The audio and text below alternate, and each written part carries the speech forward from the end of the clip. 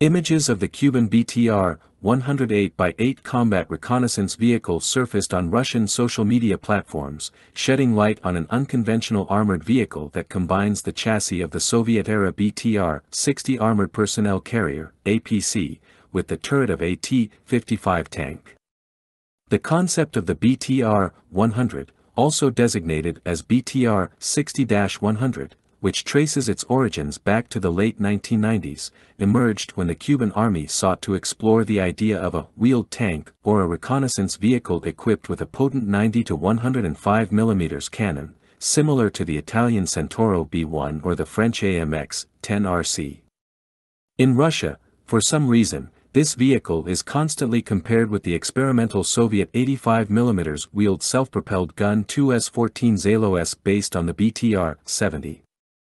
However, due to limited resources stemming from sanctions imposed by the US and the collapse of the Soviet Union, Cuba found itself constrained.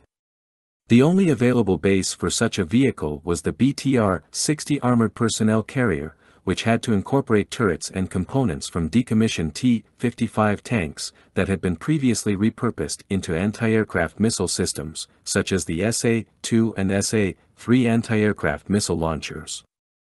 The conversion of the standard BTR-60 into the BTR-100 was a complex process, as the T-55 turret was too heavy for the APC. Extensive alterations were made to both the turret and the hull to accommodate the 100mm cannon. The central part of the turret, which housed the gun mantlet and the commander's and gunner's hatches, remained unaltered. In contrast, the front and rear sections of the turret were reconstructed using bulletproof armor. The cannon was also equipped with a new ejector and muzzle brake.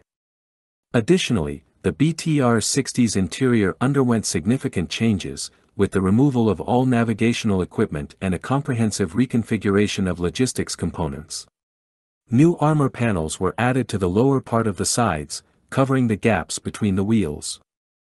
As a result of this transformation, the BTR-100 is armed with a 100mm D-10T TS-2 cannon and two machine guns, including a 7.62mm PKT coaxial machine gun mounted alongside the cannon and a 12.7mm DSHKT machine gun located on an anti-aircraft turret.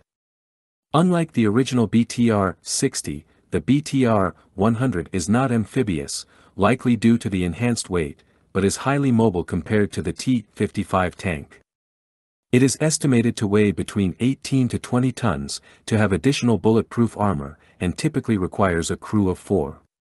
While the specific type of engine remains unconfirmed, some speculate that a Western-made diesel engine, likely from a commercial truck, has been installed. The production of the BTR-100 was characterized by its small-scale nature, with re-equipment carried out in batches of only 5 to 8 vehicles at most, over the course of a decade, from 2002 to 2012. Based on available data, at least three primary production variants of the BTR 100-BTR 60-100 are distinguishable. Note that, as the Cuban Army categorically does not accept any division of these machines by year of manufacture, series, or modifications, the names of the BTR 60-100 variants are to a certain extent arbitrary, as these names originated from foreign experts. The first is the BTR 60-100 PB1.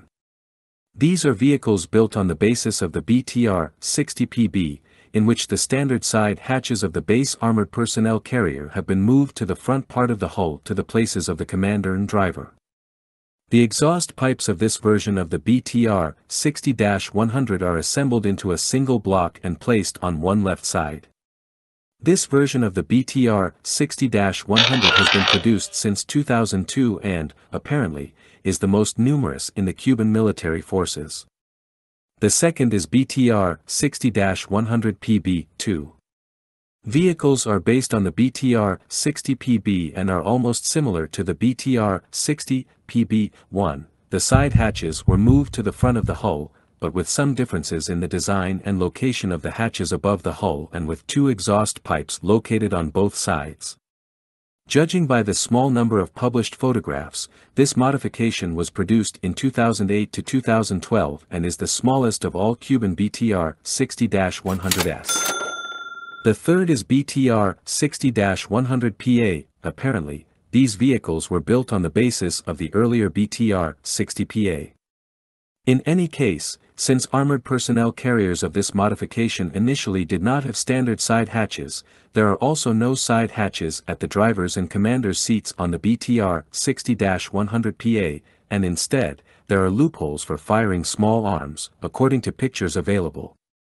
The top of the hull and double exhaust pipes of the BTR 60-100PA are basically designed similarly to the BTR 60-100PB2.